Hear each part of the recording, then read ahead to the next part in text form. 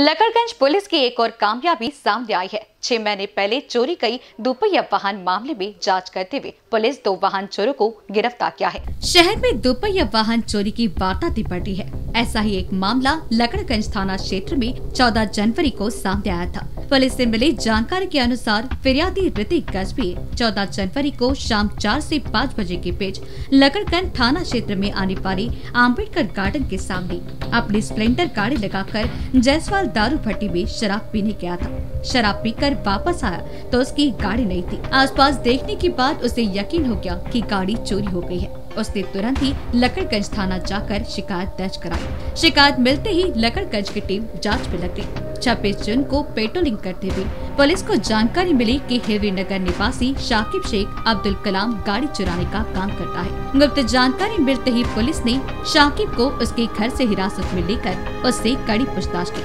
पूछताछ में उसने बताया कि 14 जनवरी को आम्बेडकर गार्डन के सामने से उसने ही गाड़ी चुराई थी, मगर वो गाड़ी उसने नरखेड़ सावर गाँव निवासी शकील बब्बू बाजवा को भेजा था। पुलिस ने शाकिब के बयान पर उमरेड पुलिस की मदद से शकील को गिरफ्त में लिया है। शकील से पूछताछ करने पर उसने शाकिब से गाड़ी लेने की बात कबूल की है। पुलिस ने दोनों के कबूल जवाब पर गिरफ़्तार कर गाड़ी जब्त की है।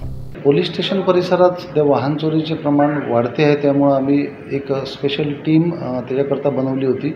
अशी माहिती मिळाली की अ, शेख राहणार नंदनवन आणि शकील उर्फ़ बब्बू बांधवा अ, राहणार सावरगाव.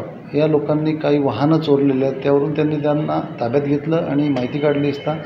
पोलीस स्टेशन लकडगंजची एक गाडी आणि पारडीच्या दोन गाड्या तसेच सोनेगावची आणि कोतवालीची एक गाडी अशा एकूण सा पाच आणि एक सहा गाड्या सहा गाड्या मिळून आल्या दोन्ही आरोपींच्याकडून त्या दोन्ही सहा गाड्या जप्त करण्यात आलेल्या आहे आरोपींचा पी सी आर घेतला. पी सी आरमध्ये सुद्धा त्यांनी काही वाहने दिली असे एकूण मिळून सहा झाले होते.